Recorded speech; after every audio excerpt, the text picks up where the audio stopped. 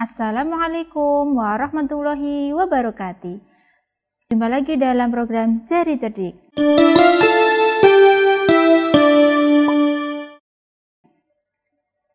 Nah, anak-anak, hari ini kita akan belajar tematik kelas 1, tema 8, yaitu tentang peristiwa alam.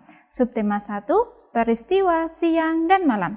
Pembelajaran 1 dan 2. Nah, tidak terasa ya, kita sudah memasuki di tema 8, ini tema terakhir, di tematik kelas 1. Oke, di pembelajaran 1 dan 2 nanti kita akan belajar seputar menemukan kosakata simbol sila kelima, tinggi rendah nada, dan yang terakhir mengenal aktivitas air. Ini nanti yang akan kita pelajari di pembelajaran 1 dan 2. Oke. Kita masuk di sub, sub tema 1, peristiwa siang dan malam. Oke, peristiwa siang ini adalah sedikit gambaran tentang siang ya.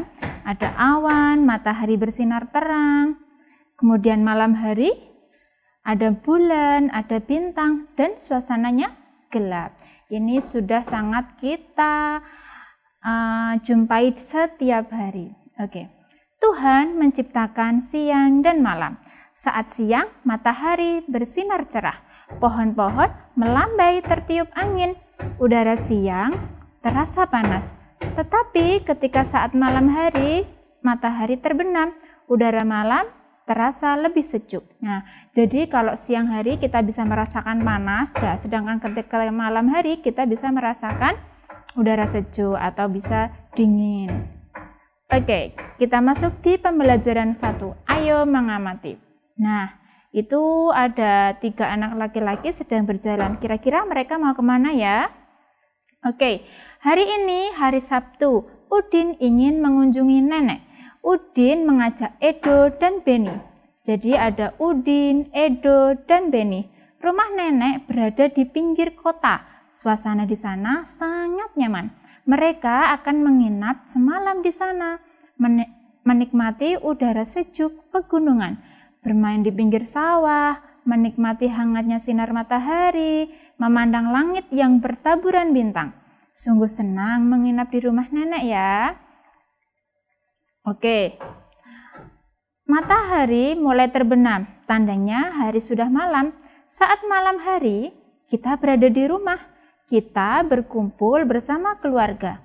Nenek ingin membacakan cerita, membaca cerita sambil mendendangkan lagu.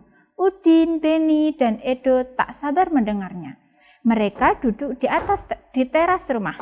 Bintang dan bulan tampak terang di langit. Suasana malam terasa lebih sepi. Nenek mulai bercerita dan mendendangkan lagu.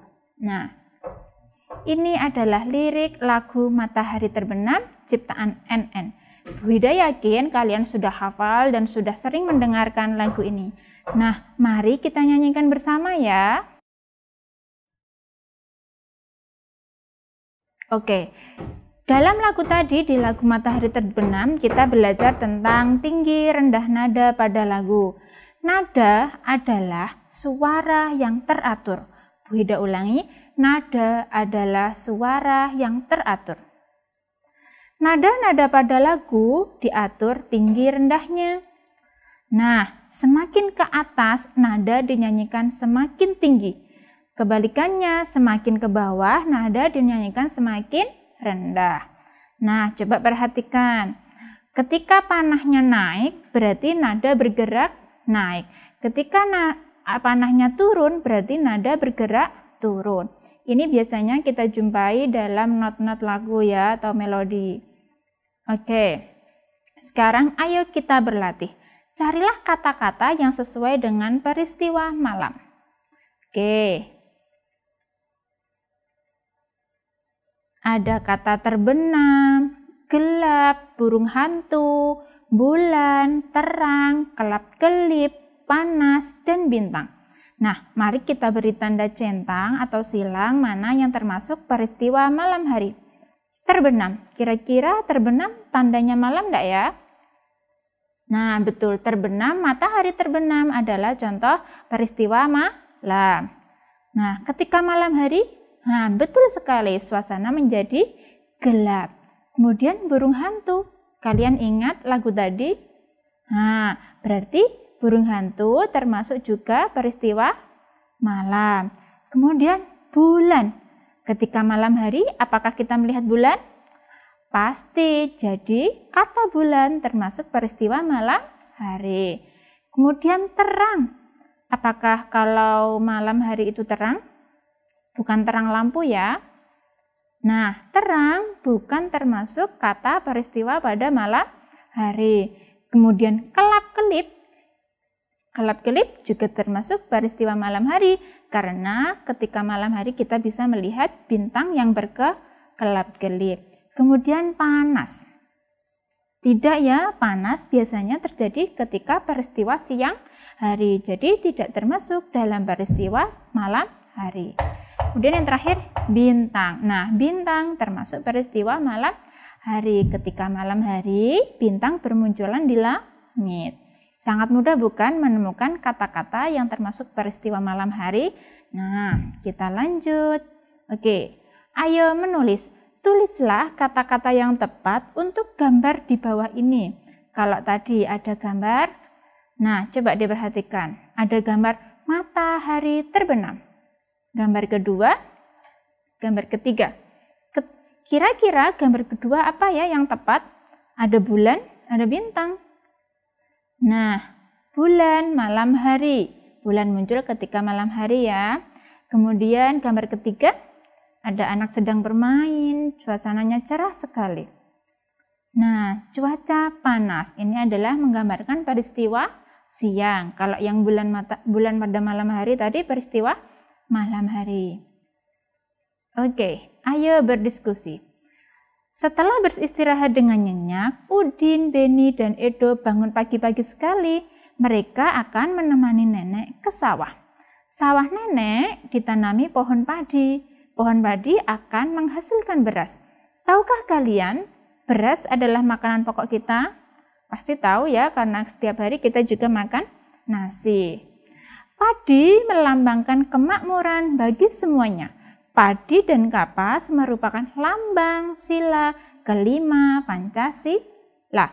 Kalau kemarin kita tentang sila keempat yaitu kepala banteng, sekarang di sila lima ada lambangnya yaitu padi dan kapas yang melambangkan kemakmuran.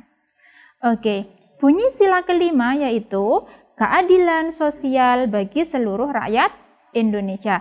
Keadilan sosial bagi seluruh rakyat Indonesia. Ulangi beberapa kali agar kalian cepat hafalnya. Oke, kita masuk di pembelajaran 2. Oke, ayo mencoba. Hari ini matahari bersinar cerah. Ayah mengajak Dayu tamasya ke pantai. Dayu senang sekali. Angin bertiup sepoi-sepoi. Di pantai banyak pohon kelapa. Burung-burung terbang di sekitar pantai. Dayu mengajak ayah bermain di pinggir pantai. Bermain dan membuat rumah-rumahan dari pasir. Dayu ingin belajar berenang. Berenang di pantai sangat menyenangkan. Saat ombak datang, Dayu berpegangan pada ayah mereka tertawa gembira. Wah, terlihat menyenangkan sekali ya. Apakah kalian sudah pernah juga bertamasya ke pantai? Pasti sebagian dari kalian sudah sering ya pergi ke pantai bersama keluarga. Oke. Nah, ini adalah gambar Dayu sedang bermain air. Oke. Indahnya suasana pantai. Dayu berjalan di sepanjang pantai. Sinar mentari terasa hangat. Deru air laut terdengar merdu. Dayu memandang ombak dan buih. Riak ombak membasahi ujung kaki Dayu. Sepoi angin meniup rambut Dayu. Burung-burung terbang mengitari pantai. Sungguh indah pemandangan di pantai. Wah, indah sekali ya. Oke, tulislah kata yang tepat untuk peristiwa siang hari. Oke, ada angin, berenang, tamasya, pasir, matahari, ombak.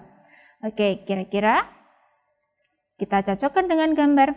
Nah, itu ada pohon yang tertimpa apa ya? Nah, angin. Kemudian ayah dan Dayu, kira-kira mereka sedang bermain apa? Ah, pasir. Kemudian Dayu berada di pinggir pantai, sedang ngapain ya? Nah, Dayu sedang berenang. Kemudian ada gambar matahari.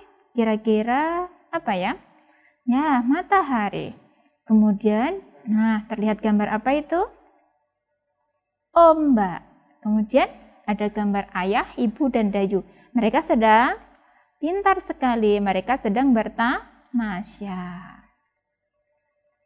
Oke, cukup sekian pembelajaran hari ini. Di pembelajaran 1 dan 2 kita sambung lagi nanti di pembelajaran 3, 4, 5, dan 6. Sekian dari Bu Hida. Wassalamualaikum warahmatullahi wabarakatuh. Semoga bermanfaat ya.